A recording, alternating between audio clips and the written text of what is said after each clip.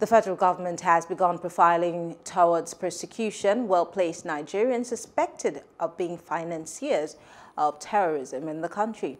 Briefing journalist in Abuja, the Minister of Justice and Attorney General of the Federation, Abubakar Malami, said the arrest of the suspects followed the recent convictions of some Nigerians on terrorism financing in the United Arab Emirates.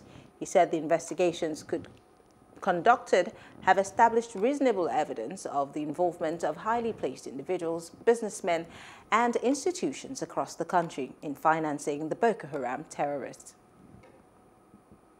Arising from the wider coverage investigation that has been conducted in Nigeria, a number of people, both institutional and otherwise, were found to be culpable, were found to, I mean, uh, uh, reasonable grounds for suspicion of terrorist financing have been established or perhaps has been uh, proven to be in existence in respect of the transactions of certain higher profile individuals and uh, businessmen across the country. And I'm happy to report that investigation has been ongoing for long and it has reached an advanced stage.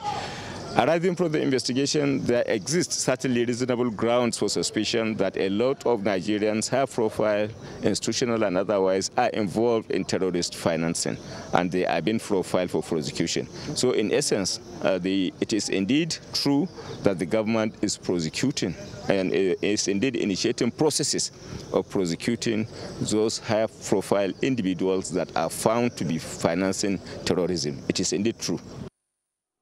Hello, hope you enjoyed the news. Please do subscribe to our YouTube channel and don't forget to hit the notification button so you get notified about fresh news updates.